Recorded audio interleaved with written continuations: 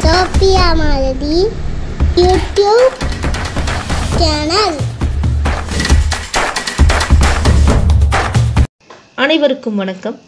இன்றைய காணொளி மாற்றுத்திறனாளி தினத்திற்கான வாழ்த்தும் வணக்கங்களும்.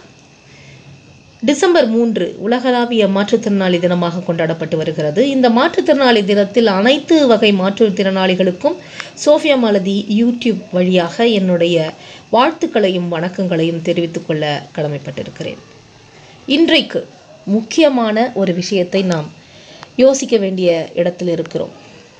நான் குழந்தையாக இருக்கும் பொழுது எனக்கு தெரிந்து ஒன்றாம் வகுப்பு படித்து கொண்டிருந்த அந்த கால சூழலில் ஒரு கணக்கு தேர்வு. அந்த தேர்வில் நான் முதலாவதாக கொண்டு போய் ஆசிரியரிடம் கணக்கு முடிவுகளை காட்ட வேண்டும் என்ற துடிப்பில் நானும் என் நண்பரும் போட்டி போட்டுக்கொண்டு கணக்கு முடிவுகளை கொண்டு போய் காட்டுவோம்.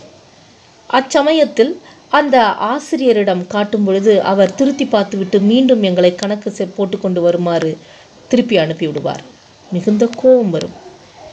ஏன் இப்படி செய்கிறார்? நான் சரியாகத்தானே போடுகிறேன் என்று திரும்பி வந்து அதை திருத்தும் பொழுதுதான் தெரிந்தது நான் தவறு செய்திருக்கிறேன் என்று.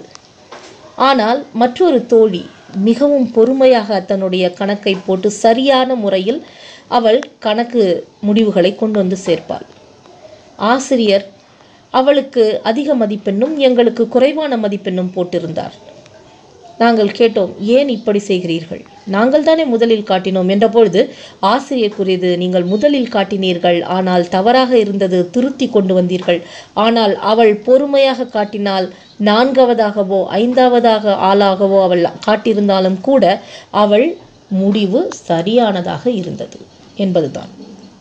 இதில் அவர் எனக்கு கூறிய பாடம் என்ன தெரியுமா? அவசரப்படக்கூடாது. அவசரத்தில் நாம் பல விஷயங்களை மறந்துவிடக்கூடும். பல விஷயங்களில் பதட்டில் பதட்டத்தில் நமக்கு தெரியாமல் நாம் விட்டு விடுவோம் செய்து விடுவோம். அப்படி இருக்கக்கூடிய காலத்தில் அப்படி இருக்கக்கூடிய பல விஷயங்களில் நாம் பல தவறுகளை செய்யக்கூடும். இந்த சூழ்நிலையை தவிர்த்து பொறுமையாக சிந்தித்து பொறுமையாக யோசித்து நாம் த நம்முடைய முடிவுகளை எடுத்தோமே ஆனால் அது தீர்க்கமாகவும் தெளிவாகவும் இருக்கும் சரியானதாகவும் இருக்கும் என்று அவர் சொல்லிக் கொடுத்தார். நான் இன்றைக்கு உங்களோடு பகிர்ந்து கொள்ள வேண்டிய ஒரு செய்தி இதுதான்.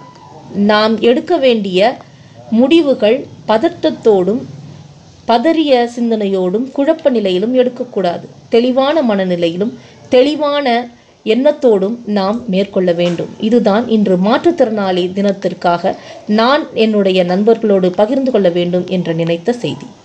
ஸோ அன்பு மாணவ செல்வங்களே நண்பர்களே நாம் செய்யக்கூடிய காரியங்களை ஒவ்வொன்றும் அவசரத்தோடு நாம் முடிவெடுக்காமல் குழப்ப நிலையில் முடிவெடுக்காமல் நிதானமாக நேரம் கொடுத்து சிந்தித்து முடிவெடுத்தோம் என்றால் அது தீர்க்கமாகவும் தெளிவாகவும் நன்மையை தரக்கூடியதாகவும் அமையும்.